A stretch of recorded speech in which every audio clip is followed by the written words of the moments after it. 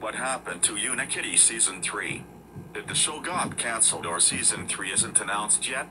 Well, New York Comic Con 2019 is coming up and we'll have to wait and see.